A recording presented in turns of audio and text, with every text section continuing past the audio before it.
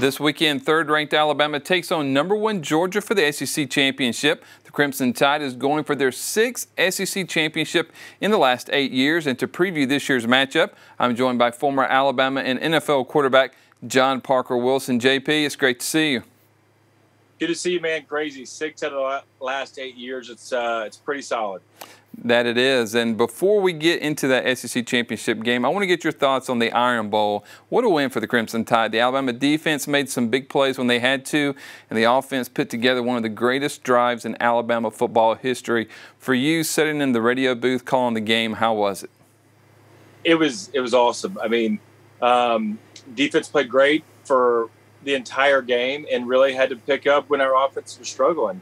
And the way that Bryce Young and the offense came back to score the tying touchdown and then put it away in overtime, um, it was a team win. And it wasn't the prettiest game we've ever played, but you beat your rival on the road in an overtime game. Uh, that's all you can ask for. So I think we got some things to clean up going into Georgia. But this team's got to have some confidence going into the SEC championship, just knowing that, that they've found ways to win games, be it Arkansas or LSU, these tight games that aren't perfect. They found ways to win. Now, Alabama owns a six game win streak over the Georgia Bulldogs. That includes two SEC championship wins, a national championship victory, and last season's 41 24 win in Tuscaloosa. But it all started with the 2008 blackout game. JP, I'm, I'm, sure you're familiar with that one. You had a pretty huge performance in that win 13 to 16, 205 yards and a touchdown. It kind of seems like that was one of the games that kind of helped kick off this Nick Saban era here at Alabama. I completely agree. It was. Um, you know, my my second year with Coach Saban, my senior year, that was a, another huge game for us. Underdogs on the road, we're able to get it done, and I think you're right. I think that that team, um, you know, winning 12 games in the regular season and getting back to the SEC championship was pretty awesome. But you know, Georgia, the blackout game was was a big part of that. So fond memories for me, and uh, hopefully we can keep this winning streak going uh, Saturday against the Georgia Bulldogs. Well, in Alabama's 41 24 win last season, the Tide picked off Stetson Bennett three times, sacking him twice. This year, Bennett has guided the Bulldogs to the second highest scoring offense in the SEC behind Alabama, averaging almost 41 points per game. How have you seen Stetson Bennett improve from last year? And can the Tide defense disrupt him that way again like they did last year? Yeah, I think that's that's going to be the important thing is disrupting him because what Stetson Bennett is doing is taking care of the ball and spreading around to a lot of different people, be it um, running backs, tight ends are involved, multiple wide receivers. So it really puts a lot of stress on the defense that you've got to cover the entire field.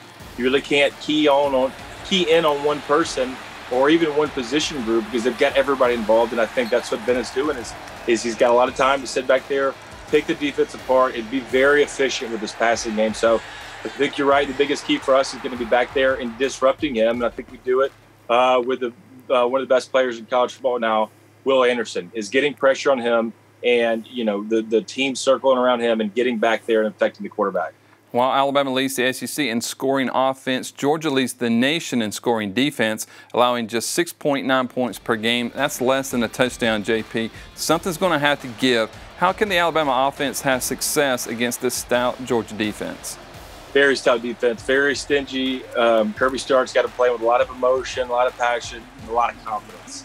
So I think Alabama's got to try to get out on a lead early, get up uh, and put some points on the board and, and make that Georgia um, offense hold serve. And for us this week, I think it's going to be a lot of, like a lot of SEC uh, tough games, SEC championships.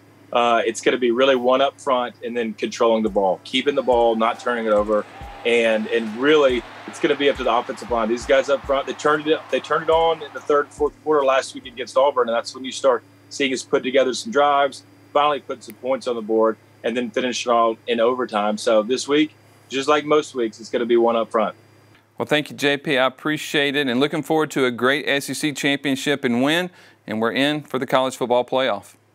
I think it's going to be a fun game, um, and I hope you're right. Winning, you're in, and you can ask nothing more from Alabama. We can still control our own destiny. We still got a shot. Well, thanks, JP. Roll Tide. Roll Tide. Kickoff for the SEC Championship is set for 3 o'clock on CBS. You can catch the radio broadcast with Eli Gold, John Parker, and the rest of the Crimson Tide Sports Network crew on the radio and RollTide.com beginning three hours before kickoff at noon. Reporting from the Crimson Tide Production Studio inside Bryant Denny Stadium, I'm Christopher England with Tide TV.